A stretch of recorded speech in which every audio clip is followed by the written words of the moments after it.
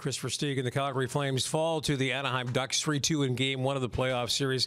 One of those games, I'm sure you're shaking your head in that dressing room. Well, you could have had it, but seven minor penalties, a weird change in the second period. What's going on in the minds of you guys in that room?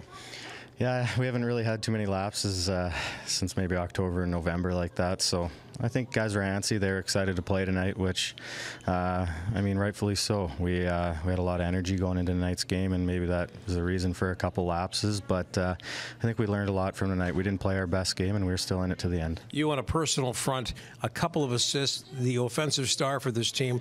What were you feeling out there? I felt good. It was just exciting to get back out there, and um, the guys made some great plays on the goals, and fortunately they went in. But uh, doesn't matter now. Just move on to the next one. I'm curious. You mentioned you learned a lot as a group in game one for game two on Saturday.